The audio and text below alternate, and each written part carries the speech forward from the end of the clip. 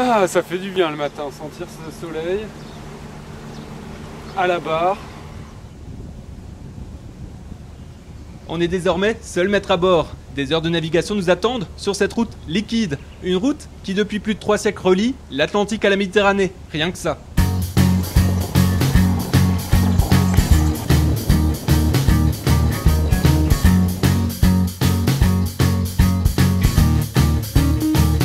Entouré de vignobles, donc ça serait bien d'aller tester un Ah petit ouais. peu quand même. hein. Très bien, ouais. J'ai un peu soif là. Clipper acquiesce. Malheureusement pour lui, il reste à quai, sous le soleil du village de Ventenac-Minervois. Dans son château, une cave coopérative. Ici, on fait le plein et on déguste.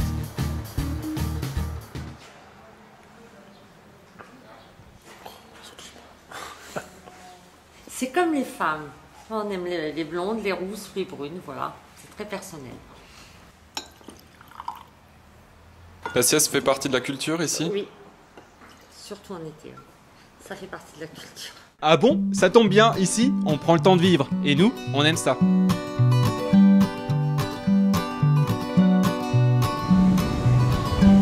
Ça y est, on arrive à bon port, c'est Sommeil. C'est ici qu'on passera la nuit, un village qui vit au rythme du canal, comme nous, cette semaine.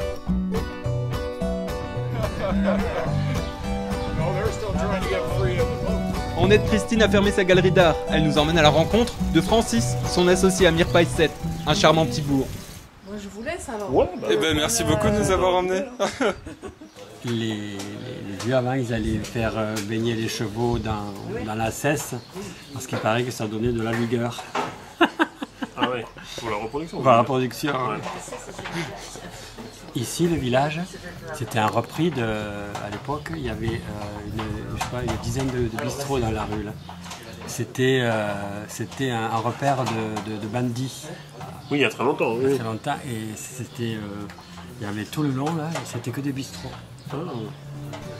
Ça a bien changé depuis. C'est sous cette belle lune que notre journée se termine.